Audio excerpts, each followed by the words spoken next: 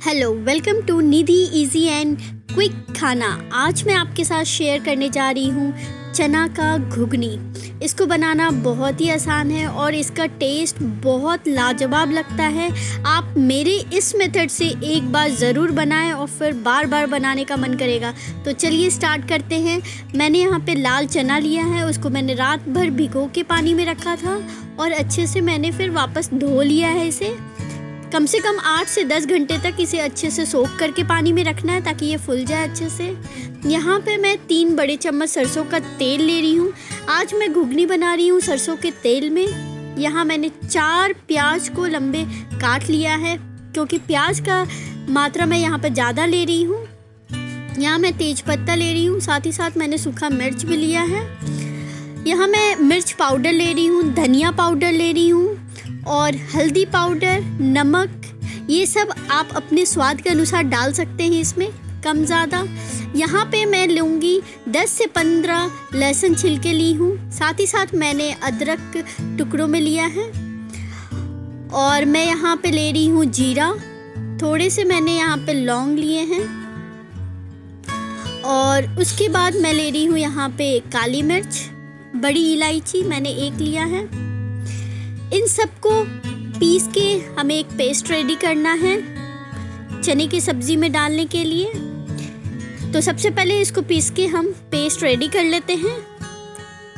ये देखिए हमारा मसालों का पेस्ट रेडी हो चुका है। अब एक कुकर लेंगे। आज मैं इसे कुकर में बना रही हूँ, क्योंकि कुकर में ये बहुत अच्छा गल जाता है।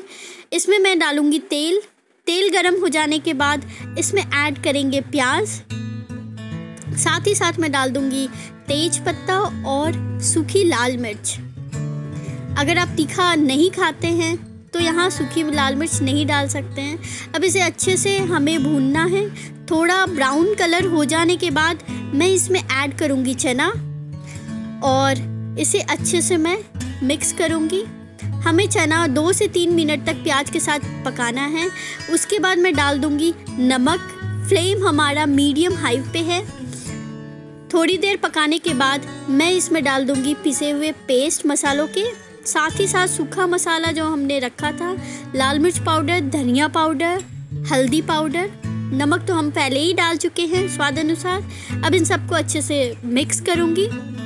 हमें तब तक भूनना है जब तक कि इसमें मसालों की बहुत अच्छी खुशबू ना आने लगे और इसमें से तेल ना छोड़ने लगे। ये देखिए, तेल छोड़ने लगा है। अब हम इसमें डालेंगे आधा कटोरी पानी।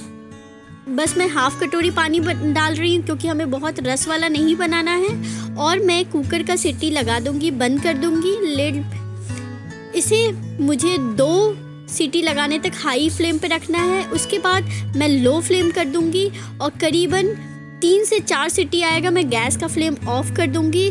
और हमारा बहुत ही टेस्टी लाजवाब चना का घुघरी बनकर रेडी हो जाएगा। बहुत लोग इसे चना का सब्ज़ी भी बोलते हैं। आपसे रिक्वेस्ट है कि एक बार इस मेथड से ज़रूर ट्राई करें चना का और मुझे कमेंट में बताना ना भूलें। Thank you